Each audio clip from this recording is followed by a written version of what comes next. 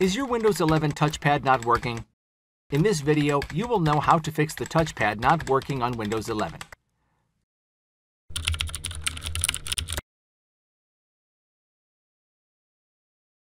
Check if the touchpad is disabled. The first thing you should do is to check if the touchpad is disabled. Press the Windows button, type Touchpad Settings, press Enter. You can use Tab or Shift plus Tab to navigate. Now highlight the toggle and press Enter to enable it. Press Tab, then Space to expand it. Press the Tab again and make sure Leave Touchpad On when a mouse is connected is enabled. If not, press the Space button. You can also reset touchpad settings and gestures to default. Some keyboards have physical buttons to disable the touchpad, so you should try finding the key for the touchpad on your keyboard.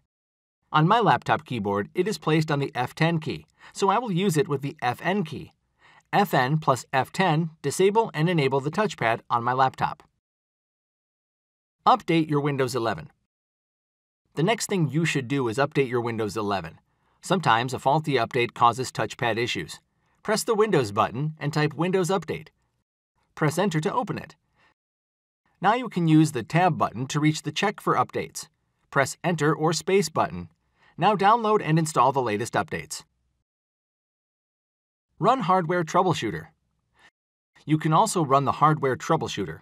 It will look for issues and suggest fixes. To run that, press the Windows plus R button then type msdt.exe space dash id space device diagnostic. Now press enter. You will see the hardware troubleshooter. Now use the tab key to reach the next and press enter. Now the hardware troubleshooter will look for hardware-related issues on your system and suggest fixes. Update touchpad drivers. The outdated touchpad drivers could also cause several issues, so we should try updating them press Windows plus R button, type devmgmt.msc, and hit Enter. Now press the Tab button once. Then use the down arrow to reach the Human Interface devices and press the right arrow key to expand it. Then use the down arrow to reach your touchpad. Then press the Context menu button on the keyboard. It looks like this. If there are two rules on the key, you will need to use it with the FN key just press Shift plus F10. Then use the up and down key to reach the update driver. Press Enter. You can search automatically for drivers or download the driver from the manufacturer's website, then install the driver directly. Reinstall touchpad device. If you have tried updating the driver and the problem is still not fixed, you can uninstall the touchpad device. When you uninstall it and reinstall it, the broken drivers get fixed, so let's try it.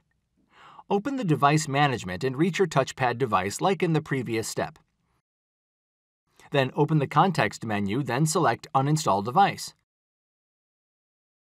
Confirm your action by pressing Enter button. Now you will have to restart the PC. Press the Windows key. Use the Tab key to reach the username, then the right key to the power option. Press Enter, now restart the PC. After restarting the PC, Windows automatically detects the touchpad device and installs its latest driver. Check Registry.